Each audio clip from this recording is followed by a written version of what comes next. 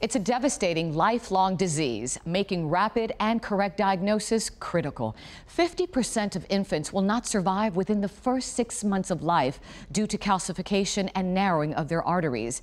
And worldwide, there are only a handful of adult survivors. We traveled to Manchester, England to meet Dr. Mughal, who specializes in this condition. But first, we're going to meet one family who experienced the impact of this disease. Let's go behind the mystery of ENPP1 deficiency.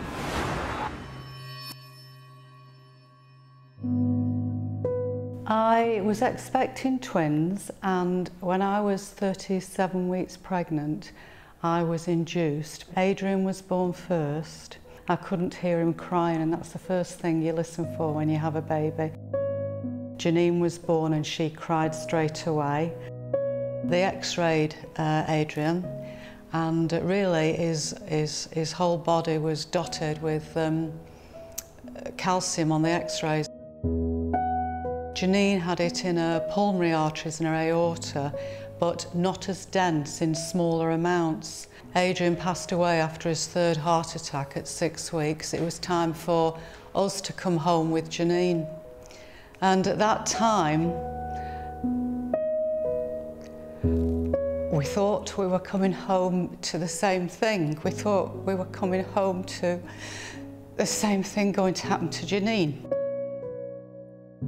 Nothing had happened to her, which uh, thank goodness it, it, it didn't. When Janine was two years old, doctors tested tissue samples of the family, which determined she had generalized arterial calcification of infancy. Despite having the name of the disease, little was known about how it would affect Janine's future.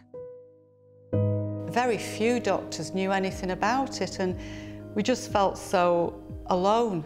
There wasn't, there was nothing uplifting. There was one or two survivors in a nutshell, it's getting the information out there and educating doctors and the medical profession that you know early treatment can help and can make things better. I mean, if I could have been treated in utero with Adrian, you might still be here today. The Balancing Act met with Dr. Mughal of the Royal Manchester Children's Hospital to learn more. ENPP1 deficiency is a genetic disorder which is caused by mutation in the ENPP1 gene. It leads to a deficiency of inorganic pyrophosphate. If you have low levels in the body, you start getting calcification in the wrong places. And one important area is in the blood vessels, which can progress to blockage of the blood vessels.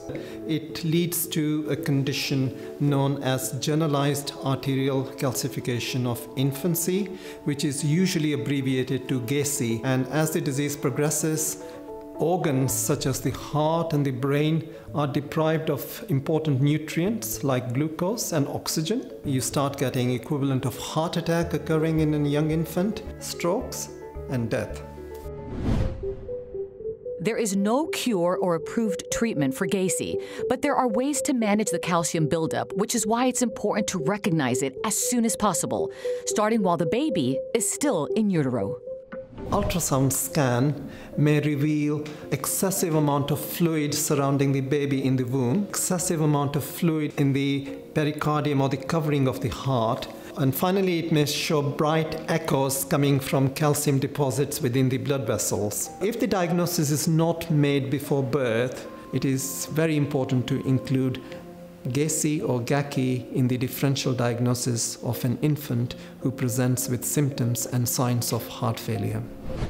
Symptoms of heart failure include feeding difficulties, rapid breathing, lips turning blue, and cardiogenic shock. A pediatric cardiologist should be brought in to evaluate these infants and perform an EKG and high resolution CT scan of the heart.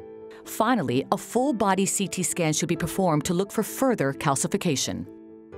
And finally, it is vitally important to confirm the diagnosis by looking for mutations in the two genes which cause these conditions namely ENPP1 and ABCC6 genes. GACI is a multi-system disorder and uh, its manifestations uh, are different during infancy, uh, childhood adolescence, and adulthood. Infants who survive can go on to develop autosomal recessive hypophosphatemic rickets type 2. So these infants start losing phosphate in their urine and their blood phosphate starts to drop. The bones become soft, in other words, they develop rickets, either bowed legs or knock knees, short stature, bone pain, and fatigue. So, if the rickets is diagnosed early, it can be treated promptly, thereby avoiding limb deformities. Other manifestations of ARHR2 include fused vertebrae of the neck, calcific enthesopathy, retinal problems, hearing loss, dental problems, joint stiffness, high blood pressure, and residual effects of organ damage from infancy. So, genetic testing is critical because there are children, adolescents, and adults with hypophosphatemic rickets or osteomalacia in whom the accurate diagnosis has not been made. Stay with us. We're going to meet Janine when we come back.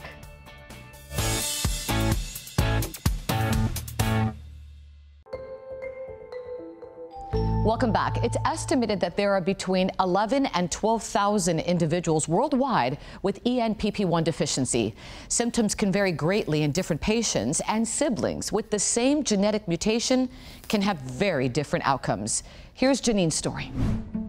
Once I got diagnosed with rickets, I started to see Dr. Mughal, who's an endocrinologist. So the rickets were treated with phosphate and alfacalcidol, and that improved the bone density in my bones and got rid of some of the misalignment of my bones, which allowed me to carry on doing the dancing. Went for an x-ray and they realised that I had a fused cervical spine, be extremely painful, uh, limits range of movement and can cause a lot of nerve pain. I also started to have a lot of bone pain in my ankles and it was diagnosed as something called calcific enthesopathies and it becomes painful and reduces range of movement considerably.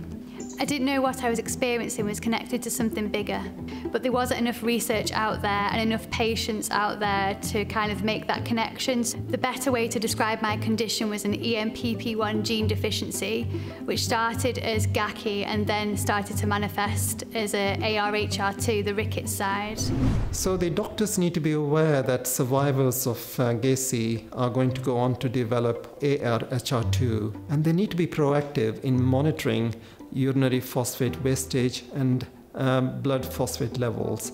So there is no approved treatment for ENPP1 deficiency. So the treatment really involves dealing with symptoms as and when they arise. There's ongoing research into the condition which involves developing targeted therapy, more specifically in ENPP1 replacement therapy, and phase 1 trials will be starting in the near future.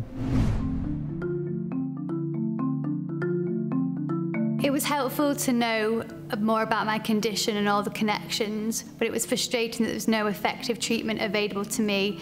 The doctors weren't sure how my condition would progress because I'm one of the oldest patients with this condition. And I also started to realise how lucky I was really compared to some of the other patients with this condition.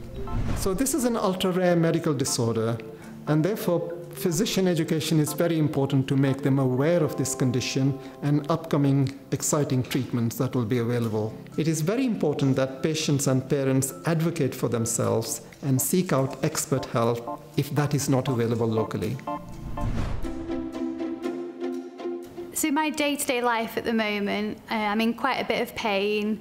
I uh, take a lot of medications to both deal with the pain and also to try and deal with the rickets. Um, I work full time, but if my don't get any effective treatment and my condition doesn't improve, I'll probably have to start reducing those hours. Um, I'm aware that it affects my quality of life over time. I feel very fatigued. Uh, see lots of different doctors and at the moment there's still no effective treatment for myself. My hope for this condition is that it'll improve not only survival, but also the quality of life for patients with this condition. There is hope, and yes, it's a difficult road, but it will get better, and effective treatment will be available, I'm sure of it. For more information, visit gaciglobal.org. That's G A C I global.org, or you can visit our website, thebalancingact.com.